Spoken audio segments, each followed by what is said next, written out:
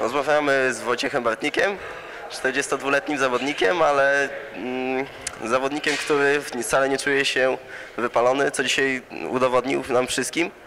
E, panie Wojciechu, pan powiedział, że mm, praktycznie o rywalu wie niewiele, że- e, do, Tak, nie miałem jego walki, dlatego mówiłem, że niewiele, ale, ale wiedziałem tyle, że, żeby, żeby jednak, jednak sobie to jakoś tam w rynku pokładać.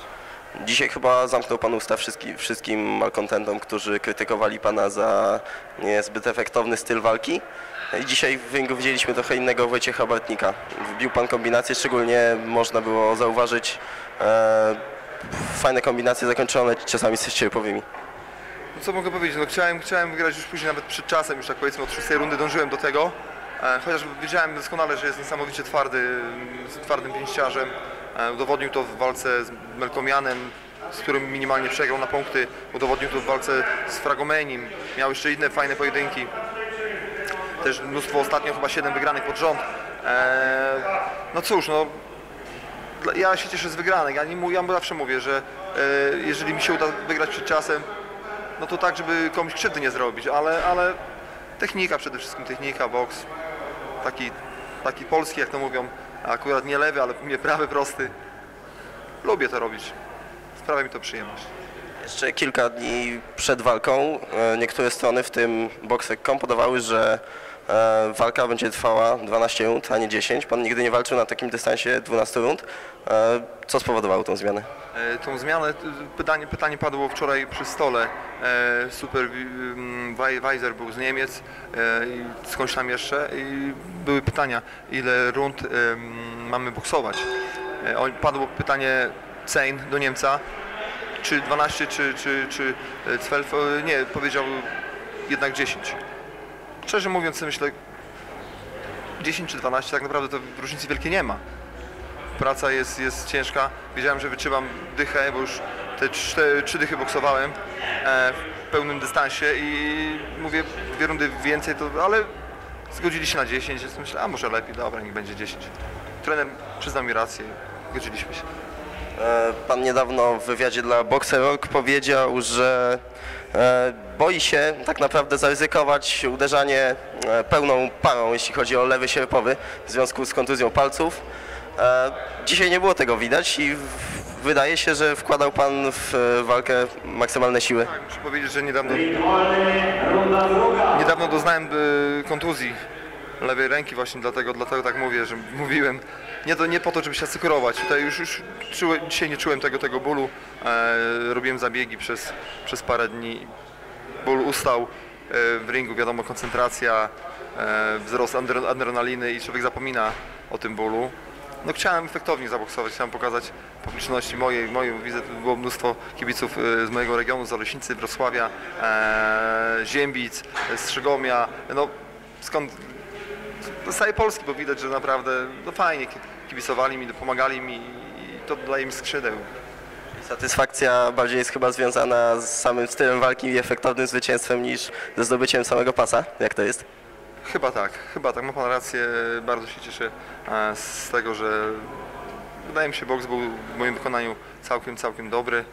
E, Może nie taki efektowny jak, jak, jak to robi Mateusz czy, czy powiedzmy Krzysiu Wodarczyk, E, ale, ale widzę, że siła uderzenia urosła mi. Mam, mamy od pewnego czasu coś robimy fajnego z trenerem Furdyną, ćwiczymy wytrzymałość, ale też dynamikę i siłę ciosu. I widać, że automatycznie te moje ręce są silniejsze i takie no, bardziej sprężyste. A myślę, że niedługo będzie bardziej gorąco. Wspomniał Pan o Mateuszu, czyli Mateuszu Masternaku. E, Zdaje się, że jeszcze w styczniu twierdził Pan, że byłby w stanie e, stoczyć z nim pojedynek. Zobaczymy, co Mateusz dzisiaj pokaże. A czy dalej, dalej ma Pan to na myśli i myśli Pan, że to jest realne? Y, Czy realne? Myślę, że wszystko jest realne w boksie.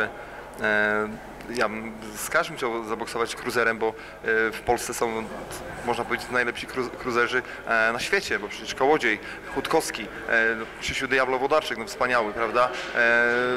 Kto jeszcze, żeby kogoś nie ominąć? Jest nawet Łukasz Rusiewicz, bardzo dobrym, mocnym pięściarzem, z którym też zmierzyłem się. Jest, jest Mateusz, no to są wszyscy moi koledzy, my się spotykamy, rozmawiamy, żartujemy sobie. Myślę, że każdy z nich wyszedłby do mnie, ja, ja do nich, bo jesteśmy wojownikami. Wchodzimy do ringu po to, żeby, żeby walczyć, żeby dawać e, przyjemność kibicom. A kto wygra? Pokaże, może pokazać tylko, e, nie wiem, potyczka, ja tylko i ja uważam, że potyczki właśnie 10-rundowe to są potyczki, które są jakby taką, dają taką wykładnię możliwości. Nie 4-6 rund, tak jak czasami niektórzy promotorzy mi proponują. 10-12 rund to jest, to jest to, tam jest ból.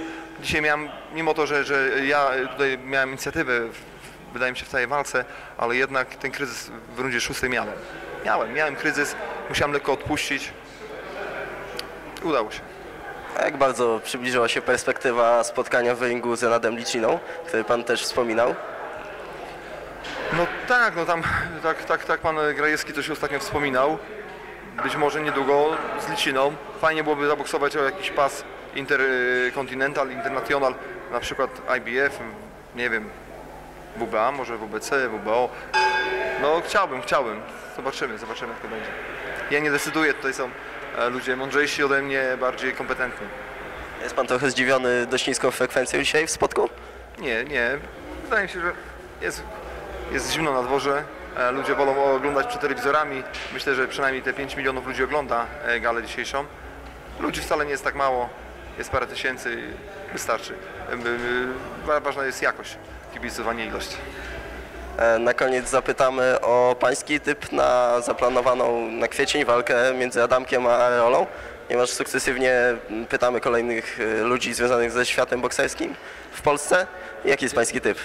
No ja, ja bardzo chciał, żeby Tomuś wygrał. To jest też mój wspaniały koleżka i, i, i kibicuję mu z całego serca. Ciężki pojedynek, trudny pojedynek. E, e, co mogę powiedzieć? No, no, bardzo bym chciał, żeby wygrał. Em, troszeczkę e, myślę, że za szybko, troszeczkę za szybko, ale nie wiem, Tomek, Tomek wie lepiej. Ja, ja nie siedzę w nim, ja nie wiem, a on jest dużo młodszy ode mnie i, i troszeczkę ten organizm się regeneruje szybciej. Ma wspaniałych sparring partnerów, ma wspaniałych e, doradców. Nie wiem, nie wiem, trudno mi powiedzieć. I motywacja przede wszystkim większa. Chodzi o, o pieniądze. Czyli sercem za Adamkiem, ale jednak umysł podpowiada coś innego. Nie, nie, nic nie podpowiada, po prostu ostrożność pewna, co nie. Ja bym tutaj troszeczkę jeszcze odpuścił y, tą walkę teraz. E, lepiej może z kimś y, średniej klasy, a potem, potem ten pięściarz mocny, bardzo silny. Nie, no wiadomo, Tomek ma wspaniałe nogi, ma wyczucie dystansu, to jest wody, które męczą. E, starałem się dzisiaj to robić i, to skutkowało jednak. E, no, nogi, przede wszystkim przednia ręka, troszeczkę wyżej e, lewa, lewa ręka i będzie myślę sukces, wygra. Dziękujemy za rozmowę, jeszcze raz gratulujemy wspaniałego występu dzisiaj. Dziękuję serdecznie, pozdrawiam kibiców Boksera Ork.